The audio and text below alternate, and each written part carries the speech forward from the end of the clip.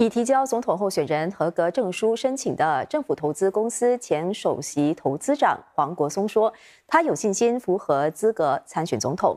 他说呢，过往的记录也展现出他具备了参选总统的三大条件，也就是能力、责任感以及诚信。黄国松今天早上走访乌洛的一座熟食中心，同摊贩和居民互动。他接受媒体访问时重申，总统的重要职责是保管国家储备金，国家需要一个了解国家储备金的总统来执行这个任务。These are quite complicated subjects, and in order for the president to play a meaningful role in safeguarding the reserves, he's got to have a certain level of competence. All right. So number one, I feel that I have the competence.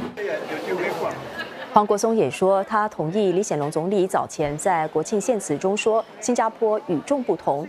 黄国松说，新加坡之所以有别于其他的国家，是因为我国有一个强大的储备金、国人的团结一心以及良好的治理体系，而这些都是总统有责任维护的。